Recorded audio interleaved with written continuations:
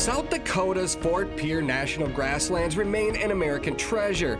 Rolling hillsides and shortgrass prairie hold healthy populations of sharp-tailed grouse and prairie chicken. Out here, there's plenty of room to roam and room to camp. But beware, this bird hunting paradise can also bite back. No, no, no, no!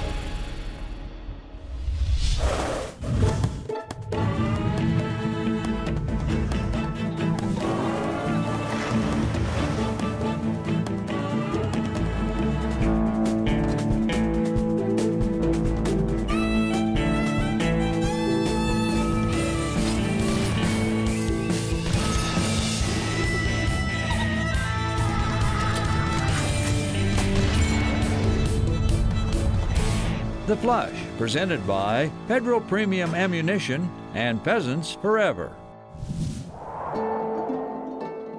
The Fort Pierre National Grasslands sprawl across more than 115,000 acres of shortgrass prairie, smack dab in the center of South Dakota.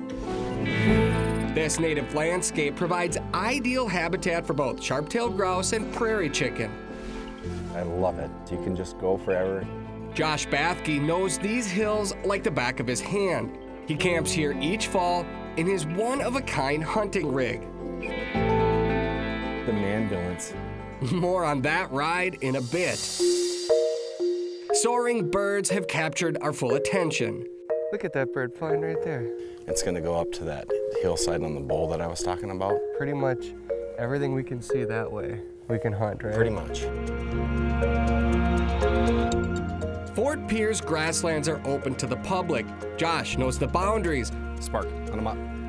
His dog Spark knows the tricks to hold these flighty birds on point. Spark is a three and a half year old Gordon setter entering her prime. She's one of six Gordons that Josh calls his kids. Their personality, they're quirky. They're just a neat dog. Very loyal, very loyal. Today's forecast calls for temperatures in the 80s. They like to loaf in here. We hope to find birds quick to beat the heat. It all looks the same. This is a hunt. It's grueling. Josh and I both know that finding birds out here usually takes time. You faker. But that's the fun part, you know? I mean, you're hunting a wild bird. Rattler? Big garter snake. Prairie rattlesnakes also live here. Josh has never seen one, but I'm wearing snake gaiters just in case. The thing with prairie chickens and sharp sharptails, they don't like the traditional pheasant cover. They like that sparse cover. That bird wanted to run. Nuts. With each point, our optimism grows, Hunt 'em up. but our excitement quickly turns to terror. No, no, no, no! No! No! No!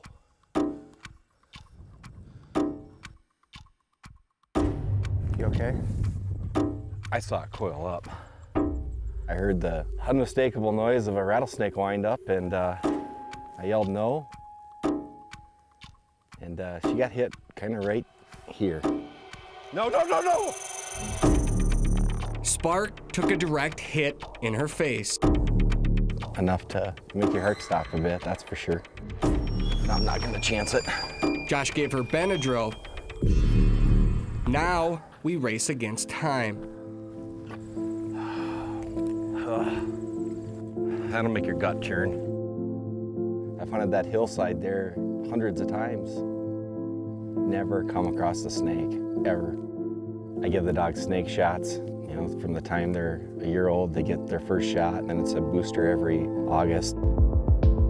It happens so fast, and you prepare for it. You just hope you never have to have that happen. Ironically, Josh's hunting rig once again provides transportation for a medical emergency.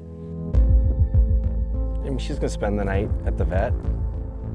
With COVID restrictions in place, all we can do now is wait. It sucks.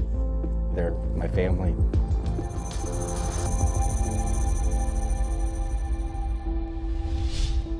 The Flush is brought to you by Federal Premium Ammunition. North Dakota Tourism. Waltons. Benelli. Ruff Land Performance Kennels. And by Nutrisource.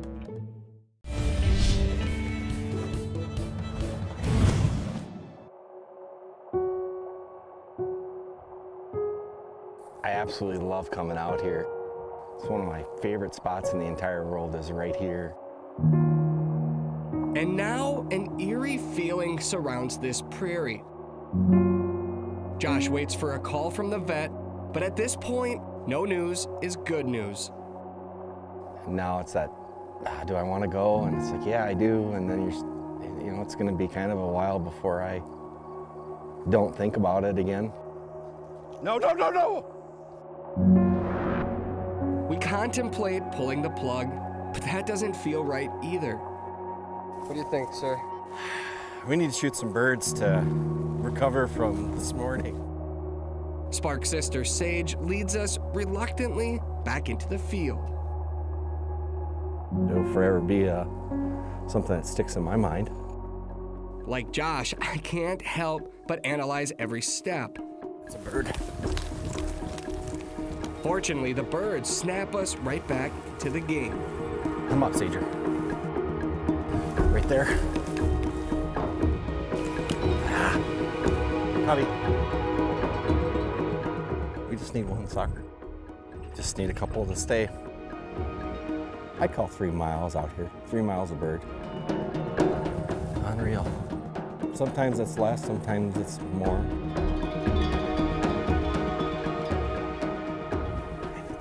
Other side of that hill. Are you kidding me?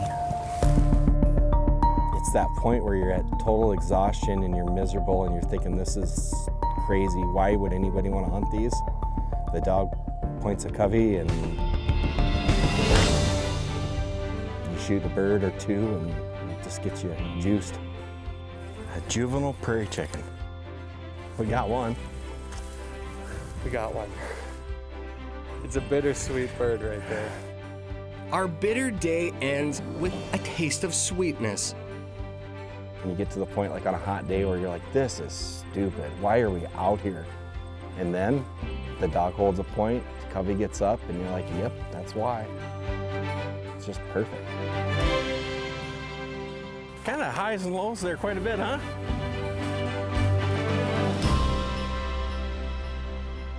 Back at camp, we watch the sun disappear over the horizon and wake to a prairie hidden beneath a layer of fog.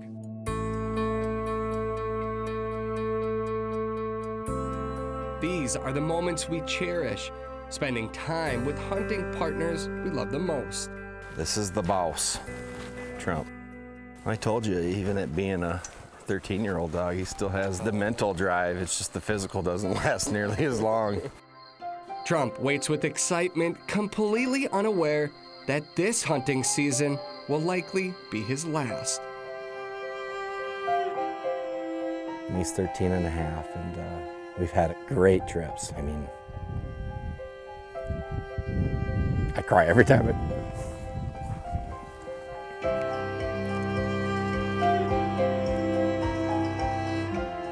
you know, when you're at the end, it's tough with a dog. Slowly, we follow the weathered nose of a 13 year old bird hunting warrior. Trump's a Gordon setter named after Josh's favorite card game, Euchre. Where that dog goes, we follow. Seeing him slow down is the hardest part. He's still sharp. It's just, you can see it in his front and back end that the wheels aren't there. And yet, Trump leads us right to the birds. There you go. Nice shot, Travis. That a boy, buddy. Dead bird. Good boy. Good boy. Did you get some feathers? Did you get some feathers? Huh? Huh?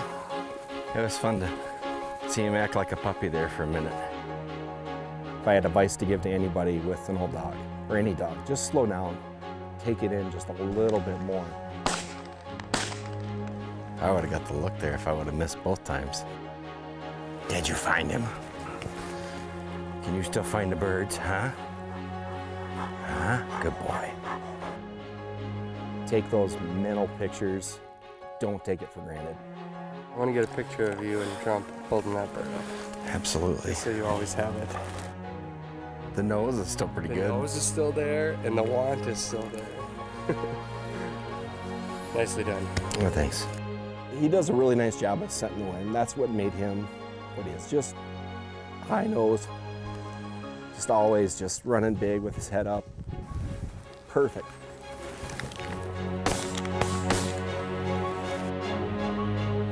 Hey, it's a big one. That it's is a it's not a. Wow, it's not a young of the year. that was all Trump. He, he laser eyed it. Halfway to our oh. limits, Hopefully that's Uh-oh. the vet. The vet? Josh gets the call he's been waiting for. This is Josh.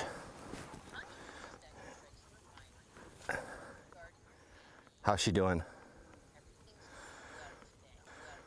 Awesome. That's fantastic. Thank you, ma'am. This prairie chicken hunt just keeps looking up. Good news. Well, just like at home, she was getting up on the counter looking for food, so if you know dogs, when they have an appetite, that's good, so It's a new day and it's a good day. yeah. A lot better feeling at this point today than yesterday, that's for sure. Still to come. Trump leads us to picture perfect points. There goes one. Plus, we take a peek inside Josh's Manbulance and bring this bird hunt full circle. The Flush is brought to you by North Dakota Tourism, Big Timber Fasteners, Thorogood Boots, Sage and Braker, Truxedo, and by Aluma Trailers.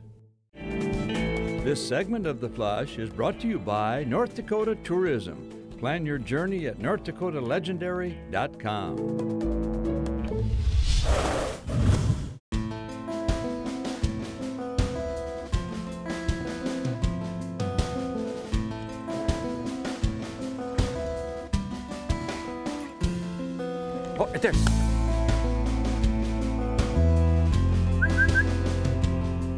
feeling?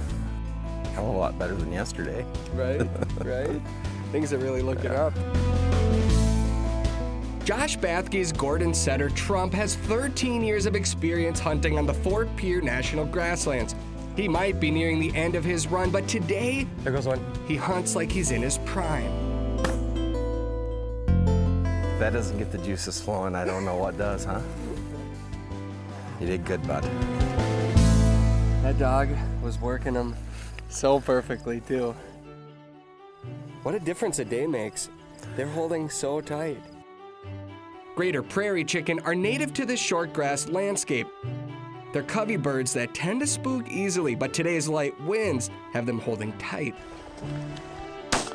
Nice job. That bird right there makes our South Dakota limit. Done D. Here's another one. That is a big one. Holy cow. Did you have fun, boss? He's not quitting yet. He, he doesn't care that we have limit. No. He doesn't care that the guns are open. He ready, No, he's he ready just- to find some more. He's like, you know, I don't get to do this a whole lot anymore. That's an open gun walk for a mile and a half back to the truck. Fun bird to hunt. You know, it's what I'm passionate about. Passionate enough to turn an old ambulance into a bird camp on wheels. This is my ambulance. Enter if you dare. It's got a guard dog. Trump, come on, buddy. Hey. I got the ambulance when I decided I needed more than one dog on a trip. I really couldn't find a camper that I liked, and this happened, and I went, why would I not want an ambulance? I've got three bays for the dogs. This is going to be eventful, so be careful as we open it up. They're probably going to come piling out. So I've got a futon. That's normally where I sleep. I've got my fridge to keep my food cold. On top of the dog box in the corner, there is another bed and then just a set of dressers, small TV to watch a movie or two at night. I put the birds in the freezer. Uh, you can get 15 grouse in there. This is my seventh year with it now, and we've gone all the way to New Mexico, been to the Tetons in Wyoming. I think between everything, I probably have all seven, eight grand in it. I mean, not a huge investment, but I mean, it's just kind of fun. Not to mention practical. After an ambulance ride back from the vet, Spark finally rejoins our team. This one of a kind bird camp once again feels complete, just in time for dinner. All right, my man, tonight we're doing upland game bird wraps. It's my favorite recipe. I can't wait to share it with you. Is that fresh? Yeah, today. Nice flat piece of meat. Everybody's favorite bacon. And I'm gonna season it. Big old dog cream cheese right there. So pull that in really tight. There we go. There's one. In wide open spaces, When at grouse camp, our bird hunt comes full circle. Eating wild birds on the open prairie just tastes better. better than I deserve. This experience is why we come. I come here to get away from everybody. I mean, look at this, man. Why do you not want to be out here? Tomorrow, we take our final walk on Fort Pierre's, pristine prairie.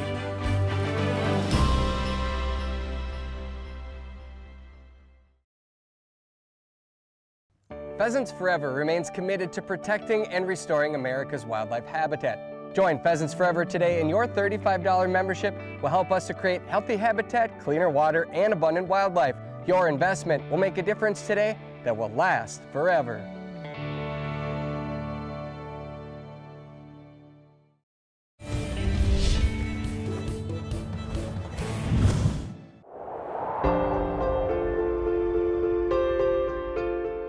Comes a point in every hunting trip when you realize it will soon be over. On our final morning at camp, we take time to cherish the views. Jim Mackey drove through the night all the way from Texas to watch Josh's dogs hunt birds on Fort Pierre's wide open spaces. Josh and I have a uh, mutual love of bird dogs. Thankfully, Josh's six pack of Gordon setters are now back intact. All right, so with the wind blowing from the north, we can just work this whole area all the way up.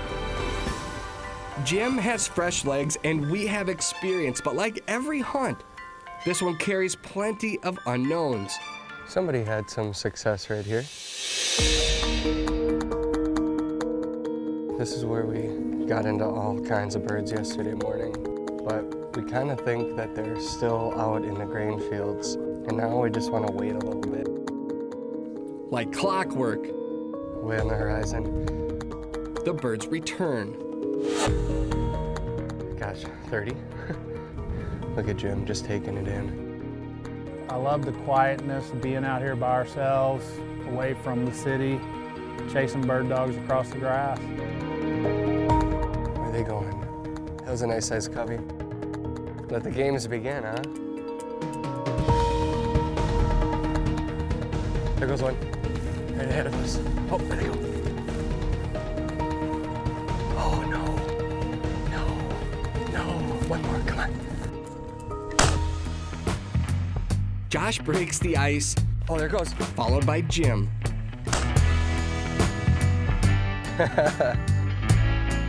Hey, welcome to the prairie. The first one is now the pressure's off, right? Uh, it felt great. It was the first one of the season and, you know, got it down on the first shot, you know, which doesn't always happen. Hunting wild birds, we appreciate every victory. saw this covey come over this hill up in this direction. could have kept going, but they might have landed right up here. The further we walk, the more I respect these native birds. There goes a bird. After all, they were here first, Oh, there they go. Look at, fighting to survive on a prairie with wild critters Dang. and big sky winds. we're about due. These birds are getting up hundreds of yards ahead of us. They're spooky in the wind, which makes it that much more difficult. Patience, persistence. If you want to be a grouse hunter, you can't give up. You got to walk that next ridge. The next ridge just might hold our reward, Oh, right there. but that's never a guarantee. Oh, oh, right there. Oh, no. Oh, shoot. She was right on that bird. They're winning today. Oh, no. Wow. That's incredible. Hunting for sharp-tailed grouse and prairie chickens, I've learned two very important lessons. Most birds escape, and a straggler almost always hangs back. Right there. Got one. Good job, Sage. Look at that. There was a lot of birds that just got up. Why didn't you leave with your buddies? You'd have been safe. That's what we needed right there. he said, let's just go over that one more ridge. One more ridge. End on a high note. End on a high note. I love it. It's a good day on the prairie. A good day on a prairie that's open to the public, with plenty of room to roam and room to camp. Creating memories with hunting dogs and hunting buddies, chasing wild birds in places where wild critters can sometimes bite back.